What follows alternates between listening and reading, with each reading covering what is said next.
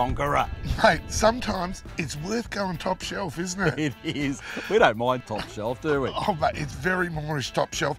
And boy, oh boy, the advantages really stick out. I'll, I'll have a Conqueror, please, Barman. yes, please. No, no, not that one. I'll go one right from the top, thank you, sir. and let me tell you the differences between your more basic unit and your top shelf. Well, straight away, hidden. Conqueror, South African origins, but an Australian company in its own right. And when they get them here, Yep. they actually bring the shell in and then bet. put a whole heap of options on them to suit our Australian wants, wishes, conditions, all that sort of thing. And So they go right from basically chassis right up. electrics, Rebuilt. you name it, the whole lot, awnings, everything right through it. So you've got a really good Australian package and a premium package. And we're not talking down your basic level Conqueror. What we're saying is the top level Conqueror, if you've got the money, it is worth every cent because we, it is seriously as tough as you want, it's as, as durable as you want, and as tricky as you want too, with a lot, a lot of bang for your buck. Oh, heaps of bang for the buck. But look, from the ground up, they changed the chassis.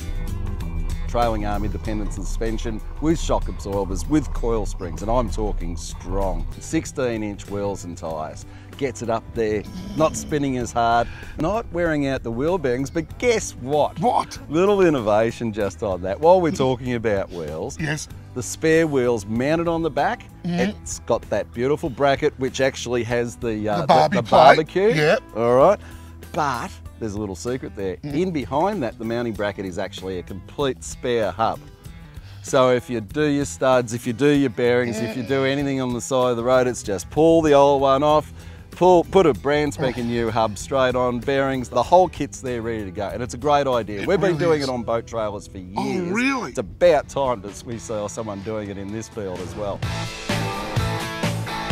The other thing that people want in Australia, of course, the, the South African mo- model comes in with override brakes, Yes. which is great for the higher market, terrific for simplicity, no doubt about that. And it's a smaller, lighter unit, and it's made for maybe your state forests and you and you you know your corrugated Oh, roads. Still a rugged unit. It's still a rugged unit, but this is actually made for no roads, so full electric brakes. full electric brakes, which which obviously you've got full control from the towing vehicle. Lock them on, lock them off if you need to, at the worst possible scenario, but you've got full control over them. So electric brakes, much better option for Australia. And speaking of electrics, Mm-hmm.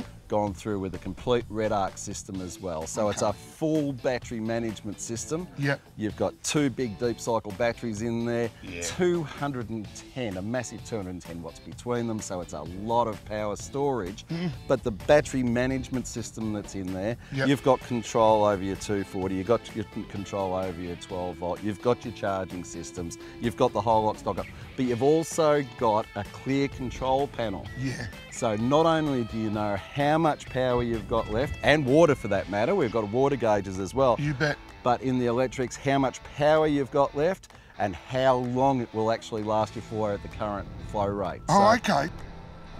There's few and far between Mm. of camper trailers where you can seriously actually go where there are no roads. What, what sort of hitch have we got? Because you don't want Mm. Yeah, it it to fall is. off. Look, it's not full off-road Treg coupling, and Mm. that's one of the other big upgrades that they've done in the Australian version. Is that whole drawbar unit has been massively strengthened, Mm. massively strengthened, and also the Treg coupling. So full articulating off-road coupling on the front as well. Their attention to detail really is second to none.